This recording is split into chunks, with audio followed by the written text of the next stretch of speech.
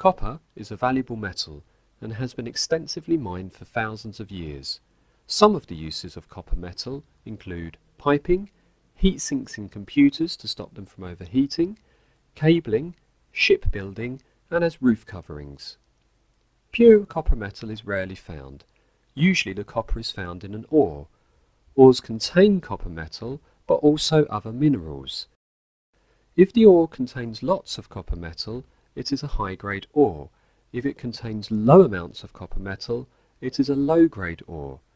There is more low-grade ore than high-grade ore, but low-grade ores can contain less than 1% of copper metal. Unfortunately, due to the extensive mining of copper ore, what do you think is happening to the amount of copper metal that's available for making the previously mentioned products? Pause, think, and continue when ready.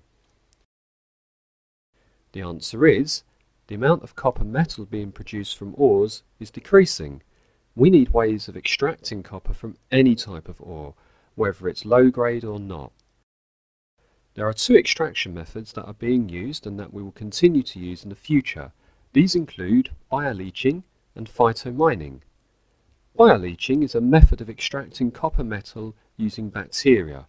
Some bacteria can live off the energy provided by breaking weak copper sulfur bonds found in ores and replacing them with stronger bonds. When the bacteria break the bond between the copper metal and the ore, what do you think happens? Pause, think and continue. The correct answer is that when the copper sulfur bond is broken, it releases copper metal. The key advantage to this process of producing copper is that it's very energy efficient. Traditionally, copper can be extracted from their ores using electrolysis or by heating them.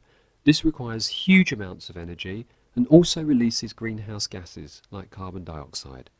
The main disadvantage of this method of producing copper is that it's very slow. The other method is phytomining. Some plants have the ability to extract the copper by growing them on soils that contain a low-grade ore. The plants take up the copper and store it inside. Once plants do this, the copper is locked up in the plant. Here's a challenge. How might we unlock the metal from the plants once they are harvested? Pause, think and continue when ready. If you burn the plant, you are left with ashes. Burning adds oxygen to the plant, so all of the carbon and hydrogen are converted to carbon dioxide gas and water vapour leaving the metallic minerals as solid oxides in the ash, which is where you will find the copper. Did you get it right? The advantage of this process is that any land that is contaminated with low-grade copper can have plants grown on them to extract the copper compounds from the ash. The key disadvantage of this process is that copper produced still isn't pure.